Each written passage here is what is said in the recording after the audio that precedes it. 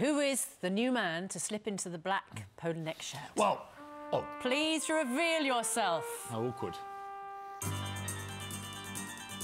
Oh, there he is. Father and firefighter Patrick McBride from Liverpool, who is soon going to be delivering chocolates in his spare time. very good morning to you. Morning. Oh, that's very kind. Uh, are they for beers? Yeah, thanks, mate. Yeah. Cheers. It's very nice to meet you, by the way. Another light chocolate. Thank you very much indeed. Come and come and have a seat. Um, so, what does it take then to be the the man who inherits this incredible legacy? Yeah. Um, it is an iconic, iconic advertising campaign and, and figure in front of everyone. So I think it's this milk tray man is, is it's about being thoughtful. So, you know, I think Oh, is that what it is? Is it, It about is. being thoughtful? Yes, it's about being thoughtful. Although we do keep the sort of, you know, the daring edge to it and the, you know, the the heroic feats that that I'm that I'm going to go to. But do women really want to be stuffed with chocolates anymore? Is that is that thoughtful, or is it basically flying in the face of? Of the whole sugar-free thing. Yes. Mm. I wonder if it's has the milk tray man had his time? Should he be bringing them kale, kale biscuits? Kale crisps. Yes. Yeah. Here are you, here's your box of kale crisps. Oh, thank you. Rather than here's a box of fattening chocolates. Well, thanks, buddy. Do you know what? I You know? think I think uh, I on mean, a- I'm throwing it out there as a devil's advocate. Yeah. I don't know. No, that's fine. Do you know what? On occasion, I think it's nice to be uh, appreciated and it's nice to be, you know, shown gestures. I mean, the milk tray man is about the smaller gestures that go behind the gift of giving, and in this case, it is a case of. Are you actually this romantic in real life? Um, I would. Well, my wife would say.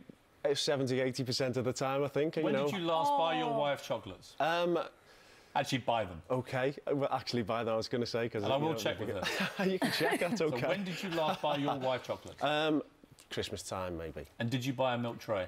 um I bought her something along that line you didn't buy a milk tray, did you?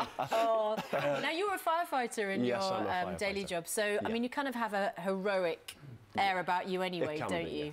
Um, uh, you know, a pretty tough job. Yeah, it can be. It can be. I mean, it's not, you know, thankfully, you know, the, the stuff that we do now with regard to fire safety and stuff like that, with just just generally, um, and a lot of prevention, fire prevention. That I mean, the heroic sort of house fires and stuff like that. Thankfully, don't aren't as as, as frequent as what the you know they were in Is the past. Is your wife ready for you know, millions of women in this country to start screaming and Well, she trying did- to tear your clothes off? She did suggest that I go in for it, so Oh, was she the one who put you up to it? yeah, she did. Yeah, she did. She um, she heard it on a radio broadcast, came home, and just suggested that I um, that I applied. And how many other people had applied for the role? Yeah, there's twenty thousand people that applied. Really? Yeah. Who had to decide who was the most milk tray man out of all of that number of I d- people? I Well, don't look know. at him. He looks central casting milk tray. Look at him. But I think, like I say, because there was a lot of there was a lot of uh, like women that applied for the milk tray role as well. Um, Well, good for them. So you know, it was a, it was more about the message behind it. You, and you kind of a milk tray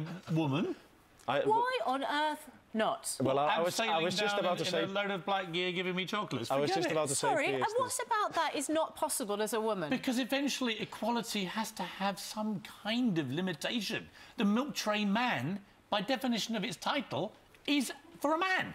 If Celia put a lovely black She doesn't want a woman and then climbing down it. abseiled I don't down want and her then coming gave down. you some what? I do not want her coming down with a big rope and giving me chocolates. Don't you? You? I wouldn't mind doing it. Oh, this is so wrong. Anyway, it's so lovely to see thank you.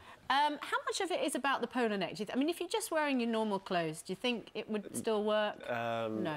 I think I think it's it's a it's I a- bet in your fireman gear you get more action, eh? well maybe if I can if I can combine the two. It's absolutely lovely to see you. thank you for so having me. much. Good to see you, mate. Thank And do you think at this point I should point out that other boxes of chocolates are available? Yes, in all good, cheap uh, Aldo stores or whatever it is. Uh, anyway, Aldo stores. I'm gonna have That's a... a- shoe shop. yeah. Other shoe shops are available. Oh my goodness. Right, okay. Get at these. It's time for the competition.